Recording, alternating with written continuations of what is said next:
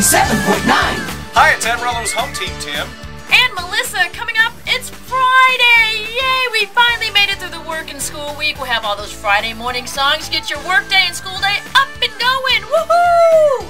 And because it is the day before Halloween, we want to know have you ever had a hair raising experience? You know those little hairs here on the back of your neck, and they ever just like, woo, stuck up like that because something happened? Have you ever gotten the woolies? Plus, somebody who's going to be all too familiar about hair raising moments and scary moments. Dan Guthrie is going to be in from the Pampa Paranormal Research Society and tell us about some hair raising moments of his own. Woo! We'll also have a $100 country cash stimulus giveaway. That'll make the hair on the back of your neck stand up.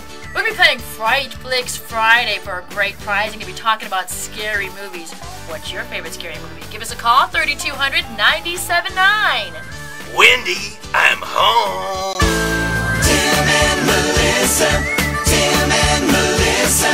In the morning. In the morning. 97.9.